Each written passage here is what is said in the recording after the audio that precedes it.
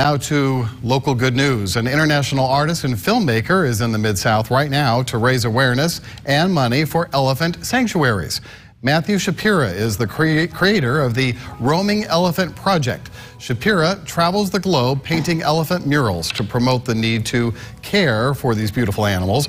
Right now, he is creating a giant elephant mural at Kelso Salon in Hernando, Mississippi.